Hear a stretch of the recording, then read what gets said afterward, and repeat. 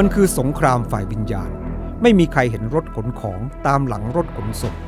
Denzel Washington ดาราฮอลลีวูดชื่อดัง แนะนำทีมบาสเกตบอล The Miami Heat พูดถึงเรื่องการเตรียมพร้อมในยุคสุดท้าย เมื่อเราไปสวรรค์ เราเอาอะไรติดตัวไปไม่ได้เลย ชาวอียิปต์สร้างหลุมฝังศพด้วยเงินและทอง เพียงเพื่อจะให้ขโมยขนไป เพราะสุดท้ายของมีค่าเหล่านั้นไม่ได้ตามคนตายไปด้วย ช่วงประมาณ 10 ปีที่แล้วเนอะผมเคยไปที่โบสถ์บทหนึ่งตอนนั้นเขาบอกว่าเนี่ยรีบออกมารับเชื่อเร็วพระเยซูอาจจะมาเย็นนี้ก็ได้อะไรเงี้ยผมก็รีบออกไปรับเชื่อ แต่จริงๆแล้วพระเยซูคริสต์จะไม่มาจนกว่าหมายสำคัญจะครบเหล่าอัครทูตเขาก็รอคอยพระองค์เสด็จกลับมา หากเราดูใน1เปโตรบทที่1ข้อที่ 13 พระคัมภีร์บอกว่าเหตุฉะนั้นท่านทั้งหลายจงเตรียมตัวเตรียมใจให้พร้อม เห็นไหมครับว่าให้เตรียมทั้งตัวเตรียมทั้งใจให้พร้อมเพื่ออะไรครับ และจงรู้จักควบคุมตนเอง และจงตั้งความหวังของท่านทั้งหมด ไว้ที่พระคุณในวันที่องค์พระเยซูคริสต์จะเสด็จมาปรากฏ หรือถ้าเราดูในจดหมายฝากของอาจารย์เปาโลใน 2 เทสโลนิกาบทที่ 2 ยุคนั้นที่มีคนรอคอยการเสด็จกลับมาขององค์พระเยซูคริสต์จนอาจารย์เปาโลจึงบอกจึงเขียนจดหมายเตือนว่าอย่าให้ใครมาล่อลวงท่านให้หลงไป เพราะวันนั้นจะยังไม่มาถึงจนกว่าจะเห็นการกรบฏเสียก่อน ก็คือยุคนั้นมีคนรอการเสด็จกลับมาของพระเยซูคริสต์แล้วนะครับ ยุคนี้เราก็ต้องรอการเสด็จกลับมาของพระเยซูคริสต์เหมือนกัน ไม่ใช่เรื่องแปลกหรือถ้าเราดูในยากอบบทที่5โอ้โหอันนี้จงอดทนเพียรรอคอยเลย ในวันที่พระองค์ในในวันที่องค์พระเยซูคริสต์จะเสด็จมาปรากฏ นี่คือเหล่าเซนต์ในอดีตที่รอคอยการเสด็จกลับมา แม้ว่าเขารอแล้วพระองค์ไม่มา เขาก็ไม่ได้เสียอะไรนะ เขาก็มีชีวิตที่เข้มข้นขึ้นเขามีชีวิตที่ลึกซึ้งกับพระเจ้าเอาจริงเอาจังกับพระเจ้ามากขึ้น ตายกับตัวเองมากขึ้น แต่ในยุคนี้นะผมบอกเลย เราจะไม่เป็นเหมือนยุคนั้นที่รอแล้วเก้อรอแล้วพระองค์ไม่มา ในยุคนี้ที่เราอยู่ทุกวันนี้เราเห็นหมายสำคัญต่างๆ ทั่วโลกอย่างชัดเจนมากๆ ยุคนั้นยังไม่มีการรื้อฟื้นพระวิหารเลย ยุคเรามีแล้ว ยุคที่อิสราเอลยังไม่เคยกลับชาติเลย ทุกวันนี้อิสราเอลนี่ยึดอิสราเอลคืนมาแล้ว ยุคที่ตอนนั้นยังไม่มีการติดต่อสื่อสาร ยังไม่มีระบบเทคโนโลยีที่สามารถควบคุมการซื้อขายของคนทั้งโลกได้เหมือนในยุคนี้ ฉะนั้นยุคนี้อยากหนุนใจว่าไม่รอเกินแน่นอน การเตรียมการเสด็จกลับมานี่มีแต่คาว่าพร้อมทางใจเร่งรีบในการรับใช้พระเจ้า เตรียมฝ่ายกายภาพ ให้พร้อมอยู่อย่างชันฉลาด แล้วในขณะเดียวกันวันที่องค์พระเยซูคริสต์มา คุณจะพร้อมที่จะไปกับพระองค์จริง ๆ ถ้าคุณอ่านใน2เปโตรบทที่3ก็จะมีคนพวกนี้คอยย่อเย้ยคอยดักถาง ผมก็อยากจะถามเขากลับว่า แล้วถ้าพระเยซูมาจริง ๆ ล่ะ อีก 10 ปี 15 ปี 20 ปีนี้ หรือแม้กระทั่ง 8 9 ปีนี้ I don't know เราไม่รู้หรอกวันไหน แต่ถ้าพระองค์มาล่ะ หมายสำคัญมันปิ่มมันครบขนาดนี้แล้วอะคุณพร้อมอะไรบ้าง คุณเตรียมอะไรบ้าง ทุกวันนี้อยู่เพื่อโลกหรืออยู่เพื่อพระเจ้า ทุกวันนี้เลิกทำบาปได้ยัง กับใจครบยังถ้าพระองค์จะมา ฉะนั้นผมหนุนใจสำหรับคนที่คิดแบบนี้หรือมีความต่อต้านเรื่องศาสนศาสตร์ยุคสุดท้าย ผมอยากหนุนใจท่านจริง ๆ ว่า เข้ามาศึกษาเถอะ ว่าพระองค์จะมาอย่างไรคำพยากรณ์เขาไปถึงไหนแล้วทำไมทั่วโลกเนี่ยไม่ใช่แค่ประเทศไทย ไม่ใช่แค่บางประเทศ แต่ทั่วโลกตอนนี้เขาตื่นตัวกันหมดแล้วเขายกมือร้องเรียกพระองค์ว่า เชิญพระองค์กลับมาว่ามารานาตาเชิญองค์พระผู้เป็นเจ้าเสด็จกลับมา เขาตื่นตัวกันเรื่องนี้กันหมดแล้วนะครับ ไม่อย่างนั้นเราอาจจะจบลงแบบหญิงไม่มีปัญญาห้าคนนั้น ที่สุดท้ายเตรียมตัวไม่ทัน ถ้าคุณพอเข้าใจไทม์ไลน์พอสังเขปในมุมกว้างเนี่ยคุณจะรู้เลยว่าเราเหลือเวลาเตรียมตัวเนี่ยน้อยมาก ผมอยากเริ่มต้นด้วยการให้คุณกลับไปศึกษาวิวรณ์บทที่ 2 กับวิวรณ์บทที่ 3 ทั้งบท พูดถึง 7 คริสตจักร แน่นอนพระองค์รักคริสตจักรทุกคริสตจักร และเราเป็นอวัยวะในกายเดียวกัน และถูกก่อร่างสร้างขึ้นเพื่อเป็นพระนิเวศอันศักดิ์สิทธิ์บริสุทธิ์ขององค์พระผู้เป็นเจ้า ในฝ่ายวิญญาณ ฉะนั้นพระองค์ไม่ได้รักคริสตจักรไหนน้อยกว่าคริสตจักรไหน แต่ในพระธรรมวิวรณ์บทที่2บทที่3พระองค์พูดชัดเจนว่า ไม่ใช่ทุกคริสตจักรนั้นจะมีแนวการกระทำที่ถูกต้องหรือเป็นแนวการกระทำที่เป็นที่พอพระทัย สำหรับองค์พระเยซูคริสต์ถ้าเราอ่านดูเจ็ดคริสตจักรเราจะเห็นชัดเจนอย่างเช่นอันแรกคือเอเฟซัสทำงานหนักจนลืมรักดั้งเดิม พระองค์ก็ตำหนิให้กลับใจ ใช่ไหมครับสเมอร์นานะครับ ยอดเยี่ยมยอมสู้ทน ยอมอดทน ผ่านการข่มเหงมากมาย คริสตจักรเป็นคริสตจักรที่ไม่ได้ร่ำรวยหรือหรือฟุ้งเฟ้อแต่ในสายพระเนตรพระเจ้านั้นเป็นคริสตจักรที่มั่งคั่ง ในฝ่ายวิญญาณ และในขณะเดียวกันคริสตจักรสเมอร์นาเป็นคริสตจักรที่เป็นที่โปรดปราน เพราะเขาได้ยอมพลีชีพ เพื่อพระนามของพระองค์ และพระองค์ก็ได้หนุนจิตชูใจเขาว่าผู้ที่ตายครั้งแรกนั้น ความตายครั้งที่สองนั้นจะไม่มีชัยเหนือเขาเลย และพระองค์เตรียมมงกุฎแห่งชีวิตให้แก่เขาคริสตจักรที่ 3 คือคริสตจักรเปอร์กามัมใช่ไหมครับ ก็เป็นพระองค์เรียกว่าเป็นที่นั่งของซาตานมีความบาปที่เปอร์กามัมจะต้องกลับใจ และมีแนวการกระทำที่พระองค์ไม่พอพระทัยคริสตจักรที่ 4 คือคือคริสตจักรธิยาทิรา เป็นคริสตจักรที่โดนผู้เผยพระวจนะเท็จชื่อว่าเยเซเบลเข้ามาป่วนคริสตจักรนำบาปเข้ามา นำการล่วงประเวณี นำการประนีประนอมเข้ามา ซึ่งพระเจ้าก็เตือนแรงมาก ว่ามีคนไม่กี่คนในในคริสตจักรนี้ที่ยังคงมีชีวิตที่บริสุทธิ์ แต่พวกที่ทำให้คริสตจักรเป็นมลทิน พระองค์จะพิพากษาและจะลงโทษ คริสตจักรที่ 5 คือคริสตจักร ซาร์ดิสซึ่งเป็นคริสตจักรที่แทบจะโคม่าที่สุดนะเพราะทั้งเมืองเนี่ยมีคนรอดอยู่เพียงนิดเดียว มีเพียงไม่กี่คนที่มีที่พระองค์ชมว่ามีเสื้อผ้าที่ขาวสะอาด ส่วนคนที่เหลือเนี่ยในซาร์ดิสในเมืองซาร์ดิสเนี่ยเป็นคริสเตียนที่ดูเหมือนมีชีวิตแต่แท้จริงคือตายแล้วคริสตจักรที่ 6 คือคริสตจักรฟิลาเดลเฟีย ซึ่งเป็นคริสตจักรที่มีกำลังน้อย แต่พระองค์บอกคริสตจักรนี้ว่า เพราะ ความเพียรความอดทน ที่จะรักษาความเชื่อและไม่ปฏิเสธพระนามของพระองค์คริสตจักรฟิลาเดลเฟียจะมีคริสตจักรที่พระเจ้าสัญญาว่าพระเจ้าจะปกป้อง ไว้ในเวลาแห่งการทดลองใจ หรือเวลาแห่งการทนทุกข์ที่จะลงมาเหนือคนทั้งโลก นั่นก็คือในวิวรณ์บทที่ 3 ข้อที่ 10 พระเจ้าบอกว่าเราจะเฝ้าระวังรักษาท่านให้พ้นจากเวลาแห่งการทดลองใจที่จะลงมาเหนือคนทั้งโลกและพระองค์ยังสัญญาที่จะจักรฟิลาเดลเฟียด้วยว่าเราเป็นผู้ที่ถือกุญแจดาวิด เมื่อเราเปิดประตูให้แก่ท่านแล้วไม่มีผู้ใดปิด และเมื่อเราปิดประตูไม่มีผู้ใดเปิด ในตอนท้ายของบริบทคริสตจักรฟิลาเดลเฟีย พระเจ้ายังพูดขณะที่ว่าพระเจ้านั้นจะให้เขานั้นเป็นผู้ที่อยู่ในวิหารของพระเจ้า ทั้งกลางวันและทั้งกลางคืน เป็นดั่งเสาในพระวิหารของพระเจ้า ทั้งกลางวันทั้งกลางคืน นี่คือความโปรดปรานที่พระเจ้ามีต่อคริสตจักรฟิลาเดลเฟียคริสตจักรสุดท้ายคือคริสตจักรเลาดีเซีย เป็นคริสตจักรที่ไม่ร้อนไม่เย็นเป็นแต่อุ่นๆ คิดว่าตัวเองมั่งคั่งแล้ว คิดว่าตัวเองโบสถ์ใหญ่แล้ว คิดว่าตัวเองนั้นมีการแนวการกระทำที่ perfect สมบูรณ์แล้วชอบทำแล้ว แค่มาโบสถ์วันอาทิตย์ แค่นี้ชีวิตก็คงแค่มาโบสวันอาทิตย์ชีวิตก็แจ่มใส แต่แท้จริงแล้วพระองค์บอกว่า ไปซื้อยาทาตามาทาตาท่านเจ้าเป็นคนตาบอด ไปซื้อเสื้อผ้าเนื้อดีมาห่มตัวท่าน เพราะท่านในฝ่ายวิญญาณท่านเหมือนคนตาบอดฝ่ายวิญญาณ ท่านเหมือนคนเปลือยกายฝ่ายวิญญาณน่าอับอาย และพรงบัวให้กับใจ เห็นไหมครับว่าเอาแค่คิสจักรทั่วไปเนี่ยพระองค์รักทุกคิสจักรและพระองค์อยากให้เราเป็นน้ำหนึ่งใจเดียวกัน แต่อุณหภูมิในงานรับใช้การรักษาชีวิตมาตรฐานความบริสุทธิ์ แค่เจ็ดคิสจักรเนี้ยก็ไม่มีคิสจักรไหนเหมือนกันแล้ว การที่พระองค์สอนเจ็ดคิสจักรเนี่ยไม่ใช่เพื่อแบ่งแยกคิสจักรนะแต่พระองค์สอนคิสจักรทุกๆ ยุคทุกสมัย ตั้งแต่ยุคคิสจักรยุคแรกมาถึงยุคประวัติศาสตร์คิสจักร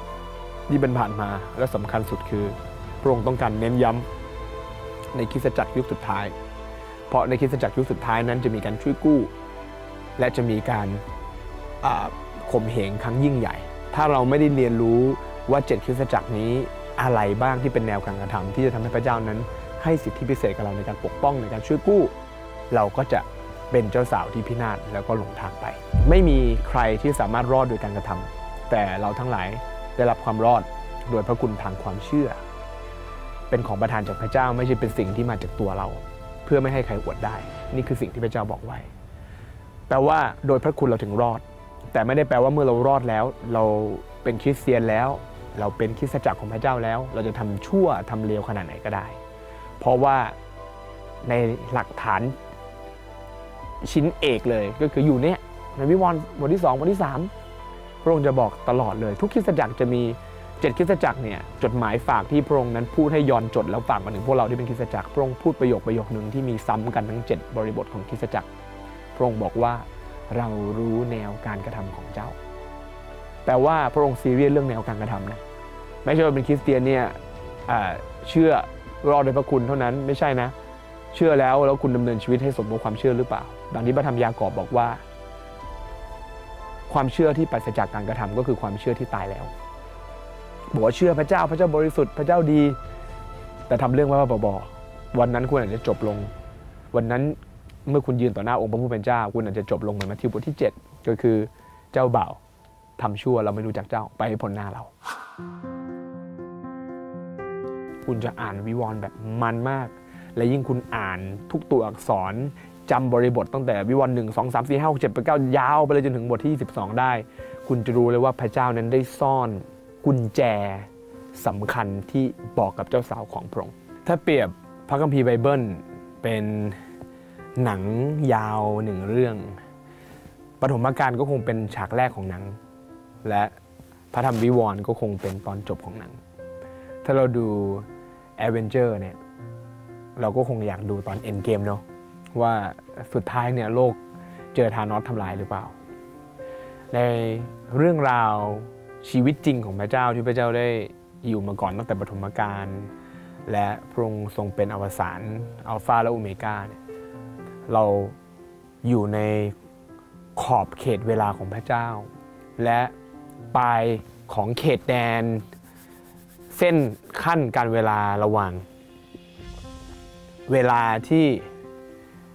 มีความตายกับเวลาที่จะเข้าไปสู่ชีวิตนิรันดร์มีเส้นกั้นการเวลาที่เขาเรียกว่ายุค เวลาแห่งการสิ้นยุค ยุคที่จะปกครองพันปี และยุคที่มีฟ้าสวรรค์ยุคที่ไม่มีทะเล แผ่นดินและฟ้าสวรรค์นั้นถูกเปลี่ยนใหม่ พระธรรมวิวรณ์จึงเป็นพระธรรมที่บอกเราถึง ขอบเวลาในแต่ละยุคที่เราจะก้าวข้ามไปสู่อีกยุคหนึ่งก็คือเป็นยุคใหม่ที่เราร่วมปกครองกับพระคริสต์เป็นระยะเวลา 1,000 ปี พระธรรมวิวรณ์จึงเป็นเหมือนกับตอนฉากสุดท้ายของหนัง และเป็นเหมือนกับโครงกระดูกสันหลังที่เชื่อมต่อร้อยเรียง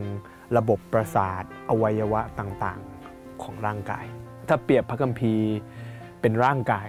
ผมเชื่อว่าพระธรรมวิวรณ์เป็นเหมือนกับกระดูกสันหลังที่เชื่อมต่อระบบประสาทต่างๆ ให้กับอวัยวะทุกส่วน เป็นแกนแห่งความหวังแห่งพระสิริในการเสด็จกลับมา ถ้าไม่มีพระธรรมวิวรณ์พระคัมภีร์ทั้งเล่มจะดูหลงเหลงดูแบบว้าเว ดูว่าแล้วมันจบยังไง เอ๊แล้วพระคิดจะมายังไง เอ๊เราทนทุกข์เพื่ออะไร แล้วสุดท้ายแล้วคนที่ตายไปแล้วปลายทางเขาจะเป็นขึ้นมาไหม แล้วสุดท้ายคนชั่วจะถูกพิพากษาไหมแล้วคริสเตียนที่รักพระองค์และสัตย์ซื่อกับพระองค์วันหนึ่งจะได้เข้าสู่ความสัมพันธ์ที่ลึกซึ้งกับพระองค์นิรันดร์การยังไง เราจะไม่รู้ภาพอะไรเลยนะครับถ้าไม่มีพระธรรมวิวรณ์ผมชอบการเริ่มต้นของหนังสือวิวรณ์มาก และพระคัมภีร์บอกว่าวิวรณ์ของพระเยซูคริสต์แต่จดหมายวิวรณ์เป็นจดหมายของพระเยซูคริสต์ที่ให้ยอนนั้นได้เป็นผู้ที่จดบันทึก ให้กับคริสตจักรที่เป็นเจ้าสาวของพระองค์ได้อ่านเปรียบเสมือนจดหมายรักที่เจ้าบ่าวนั้นได้ฝากยอนเขียน ให้กับเจ้าสาวที่พระองค์ทรงรักได้อ่าน และในข้อที่3พระองค์บอกว่าความสุขมีแก่ผู้ที่ได้อ่าน ความสุขมีแก่ผู้ที่ได้ฟังคำพยากรณ์เหล่านี้ และความสุขมีแก่ผู้ที่ถือรักษาคำพยากรณ์เหล่านี้ เพราะพระองค์จะมาในเร็ววันนี้ คราวนี้ มื่อคุณอ่านพระธรรมวิวรณ์นะครับ มันจะ enlight หนังสือต่างๆ ที่คุณเคยอ่านมาก่อนในชีวิตของคุณ เมื่อคุณอ่านพระธรรมวิวรณ์คุณจะเข้าใจว่าแท้จริงแล้วไม่ว่าจะเป็นผู้เผยเล็กผู้เผยใหญ่ในแต่ละสมัย เวลาเขาเผยถึงวันแห่งองค์ผู้เป็นเจ้า คือการเผยถึงยุคของเราทั้งสิ้นอะคราวนี้ผมไกด์ไลน์ว่า อ่านวิวรณ์ยังไงให้มัน คือการที่คุณนั้นอ่านวิวรณ์แล้วก็กลับไปอ่านผู้เผยเล็ก ผู้เผยใหญ่พูดง่ายๆคือคือการอ่านอะไรที่มันโยงโครงข่ายก็กระโดดกลับไปอ่านไปอ่านมา แล้วก็ตรงไหนที่ไม่เข้าใจก็อดอาหารอธิษฐานขอพระเจ้าสำแดงผ่านนิมิตผ่านความฝันผ่านความเข้าใจ มันจะได้ลงลึกไปเรื่อยๆเรื่อยๆเรื่อยๆคราวนี้อ่านยังไงให้ไม่งง 1. พงกษัตริย์ 2 พงกษัตริย์ 1 พงศาวดาร 2 พงศาวดาร ทำไมผมถึงอยากให้คุณรู้ว่ากษัตริย์ เริ่มต้นที่องค์ไหนอ่มีดาวิดใช่ไหมอ่ามีซาอูล มีดาวิด มีโซโลมอน หลังจากโซโลมอนก็มีเรโฮโบอัม เยโรโบอัม แบ่งเป็นอาณาจักรแล้ว คราวนี้พอคุณเริ่มจำกษัตริย์ได้ก่อน กษัตริย์ดีกษัตริย์ชั่วกษัตริย์ชั่วกษัตริย์ดีไล่ไปเรื่อยๆไล่ไปเรื่อยๆ คุณจะเห็นการแบ่งเส้นของอาณาจักรเหนือกับอาณาจักรใต้ ว่ารัชกาลเหนือองค์นี้ปกครองเนี่ยอาณาจักรใต้ กษัตริย์องค์ใดปกครอง บางทีก็ชั่วพร้อมกัน บางทีก็เหนือชั่วใต้ดี ก็จะเป็นคู่ขนานกันไปพอคุณไล่ไปเรื่อยๆจนไปถึงเยโฮยาคีมเยโฮยาคีนที่บาบิโลนเข้ามาตี และเผากรุงนั้น และถูกจับไปเป็นเฉลย คุณก็จะเริ่มเห็นการเปลี่ยนของอาณาจักรคราวนี้พอคุณจำกษัตริย์ได้ใช่ไหมครับ ความเฟี้ยวคือในแต่ละกษัตริย์เนี่ยพอดื้อปุ๊บพระเจ้าตีก็จะมีการเปลี่ยนโอนถ่ายการเป็นเชลย ของแต่ละอาณาจักรสู่อาณาจักรใช่ไหมครับก็ตอนแรกอียิปต์ใช่ไหมมาเป็นอัสซีเรียอัสซีเรียมาเป็นบาบิโลนบาบิโลนมาเป็นมีเดียเปอร์เซียมีเดียเปอร์เซียมาเป็นกรีกกรีกมาเป็นโรมยาวไปเลย คุณก็จะเริ่มเห็นกษัตริย์กษัตริย์กษัตริย์กษัตริย์ ลำดับพงศ์กษัตริย์เนี่ยและคุณก็จะเห็นอาณาจักรต่ออาณาจักรและอาณาจักร แต่ความล้ำลึกอีกก็คือ เวลาคุณอ่านผู้เผยเล็กผู้เผยใหญ่ ขึ้นต้นก่อนที่เขาจะเริ่มเผยจดหมายของผู้เผยเนี่ยจะมีบอกว่าข้าพเจ้า อิสยาผู้เผยพระชนะที่อยู่ในสมัยของโยธามและเฮเซคิยา คุณก็จะรู้แล้วว่าอ๋อไอ้ผู้เผยคนนี้ที่เราเคยอ่านเนี่ยอยู่ในอาณาจักรนี้นะ เพราะอะไรก็อยู่ภายใต้ยุคของอันของกษัตริย์ที่ปกครองคนนี้ไงพอเห็นภาพไหมฮะเราจะเริ่มเห็นภาพแล้วอ๋อโยนาพูดถึงเมืองนินาเว มีผู้เผยคนอื่นพูดถึงเมืองนินาเวเหมือนกันทำไมยุคของโยนาเมืองนินาเวไม่ถูกพิพากษา แต่พออ่านมาเรื่อยๆ เจอผู้เผยคนหนึ่งเผยในเผยตอนเมืองนินาเว แต่ตอนนี้เมืองนินาเวกำลังจะถูกพิพากษา เมืองเมืองเดียวกันแต่คนละวาระเวลา คนละยุค คนละกษัตริย์ปกครอง พอคุณเข้าใจพระคัมภีร์ทั้งเล่มมาเป็นก้อนๆแล้วนะฮะมันเป็นแบบไทม์ไลน์ในหัวคุณแหละกษัตริย์ อาณาจักรและผู้เผยสอนกัน และเวลาคุณมาโยงลิงก์กับ พระธรรมวิวรณ์มันจึงเป็นจริงมาก ๆ เพราะคุณเห็นคำพยากรณ์ของการเปลี่ยนอาณาจักรของสัตว์ร้าย และเมื่อคุณเห็นเทียบเคียงกับสถานการณ์ปัจจุบัน คุณจะเห็นจริง ๆ ว่า สัตว์ร้ายตัวสุดท้ายกำลังมีเจ็ดหัวและมีสิบเขา และกำลังครอบงำโลกใบนี้เป็นหนึ่งการปกครองจริง ๆ บวกด้วยภัยธรรมชาติ บวกด้วยการรื้อฟื้นพระวิหารหลังที่สามและการกลับมาของกรุงเยรูซาเล็ม บวกด้วยสภาพสังคม การข่มเหงคริสตจักรข่าวประเสริฐถูกประกาศเป็นตัวสุบาแผ่นดินโลก มันจึงทำให้คุณอินและเข้าใจมันอย่างลึกซึ้งอย่างถ่องแท้ว่า พระเยซูคริสต์กำลังจะเสด็จกลับมา เพื่อพิพากษาคนธรรม และมารับเจ้าสาวของพระองค์ไป